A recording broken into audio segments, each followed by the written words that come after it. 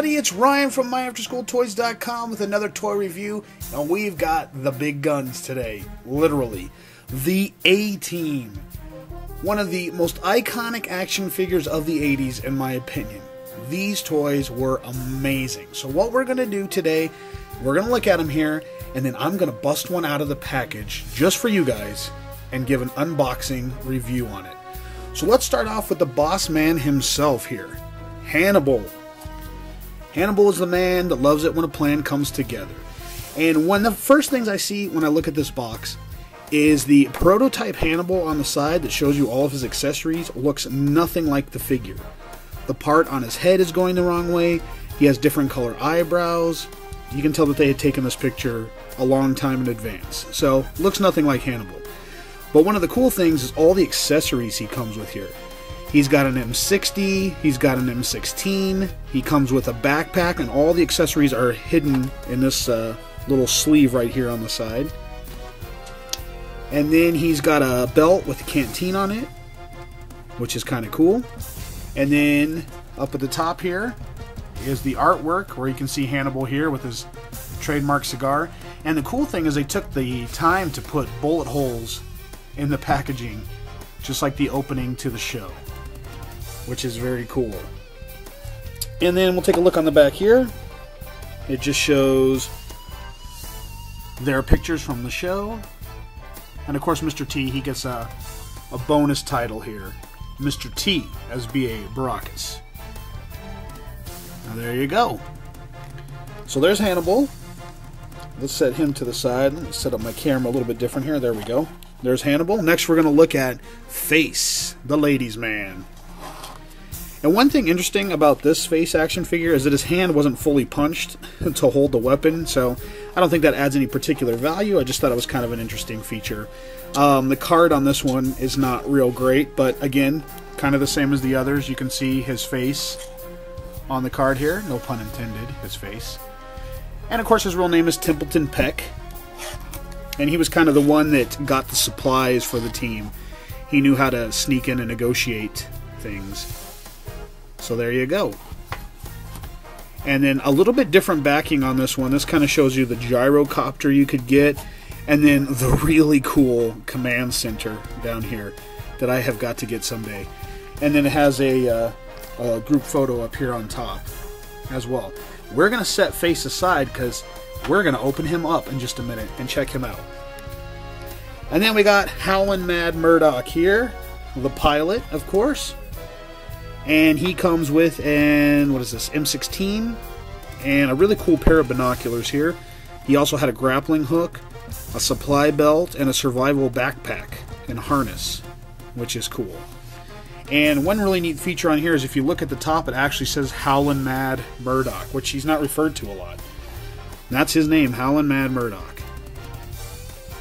And he's given that name because of his uh, craziness. And then the back is similar to Hannibal's here. So there's Murdock.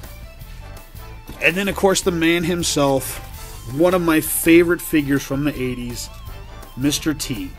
Not only was he a cool figure with all the chains and just looked like Mr. T, a really good likeness, but he had the most accessories out of all these figures. If you can see here, he comes with a toolbox and in the toolbox, there's a drill, there's a saw, there's a hammer, a screwdriver, a socket wrench, another wrench, and then a tray that fits inside. So a lot of cool little accessories on him. And he has some bolt cutters and an M16 as well.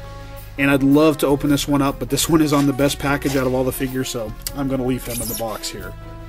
But there's B.A. Baracus. What a cool figure. You ain't getting me on no plane, Hannibal. Alright, there you go. And then the same backing as the Hannibal card. Alright. So we're going to put him there like that. Uh, I wasn't going to open up the Hannibal figure, but I just noticed that on the face figure here, there's a little piece of plastic that's been busted out over time. So we're going to open up him and see what he's got inside. Here we go. It's always hard to open these things up. It's been 30 years, and he's finally making it off the pack the way nature intended. Okay, so when we open him up right here, you can see that he's got nice piece of plastic holding them in. And then the weapons are taped in. And after 30 years, there's quite a bit of yellowing on the plastic. So we'll take off his little Uzi here. Nice little detailed Uzi. And then his M16 as well. And then here's the figure. It looks kind of like Face. He's got a cool little leather jacket here and a canteen belt on the side. It's got like another little pistol holster and then some like little utility holsters on it.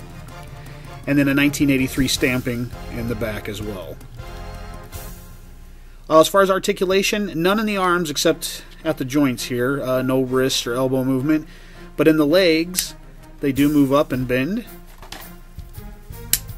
Like this. Wow, did you hear that sound? That is the sound of 30 year old plastic joints moving for the first time. Alright.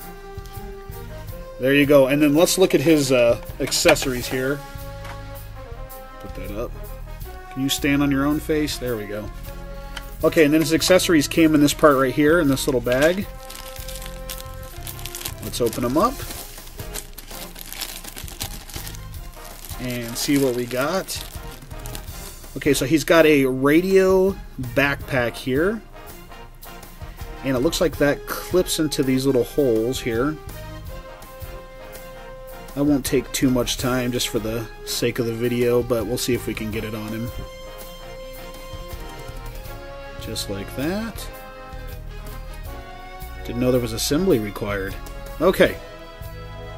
And then I'm assuming that fits over his head like this and then these little parts come around to attach. Like that. Not the highest quality on this rubber. I can see why it would break easily. I never had this uh, action figure to play with early as a kid, so I didn't realize what kind of harness system he had. But that fits in there, and you get the idea. He has a nice little radio backpack here. It's got some cool features. It's got a little phone right there. Very nice. And then he also has a strap here for his M16. let me tell you, there was no political correctness back in the 80s when it came to guns, because these guys are loaded down, just like in the show. I remember all the controversy, too, about the A-Team, how parents groups are coming out and saying it was so bad for kids to watch, but honestly, no one ever, ever died in the episodes. So, I guess compared to today's standards, it's not too bad. Uh, this clips on the front here like this. Like that. And then I guess it slides down. And then the other end clips onto this little hook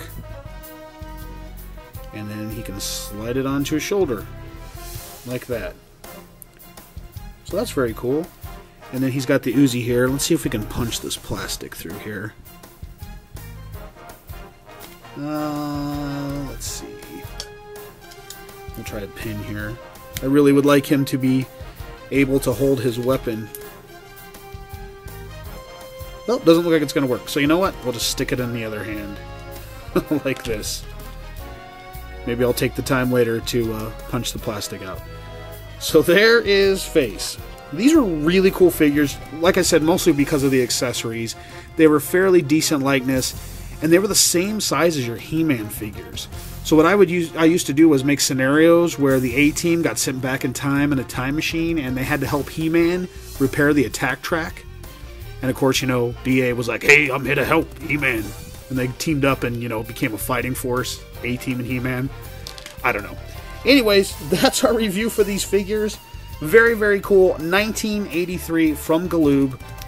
Great collector's items. And Face is now going to find a place, a permanent place on my toy shelf. And no, look, no holes in the bottom for stands, so he'll stand on his own. That's it. I hope you enjoyed the review. We got more to come. I love these toys. Go check them out. Make sure you visit our website at myafterschooltoys.com for a database on all kinds of 80s toys. And until next time, as usual, long live the 80s. Get away from me, feet.